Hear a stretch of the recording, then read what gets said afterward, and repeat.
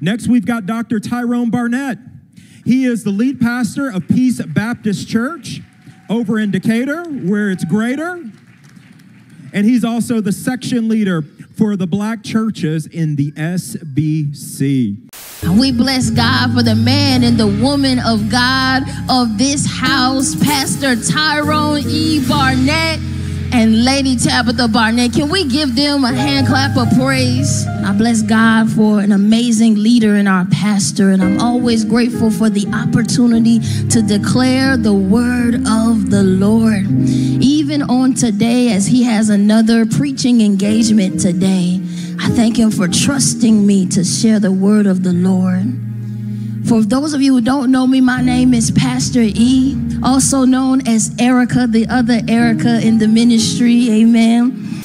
This past week, I was in Indiana with all of that was going on, and I was thinking about leaving. Very much as you're saying, leaving the convention because of what's going on now in the conservative bent that's happening, the political side of what's happening, what they were doing to women in ministry.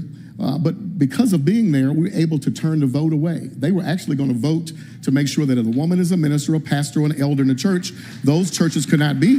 But because I was there, and many like myself were in there, we were able to speak truth biblically, not culturally, but with the Bible and share our faith, share the truth of the Word of God, and cause that vote not to go in the way they wanted it to. And so I'm telling you, that's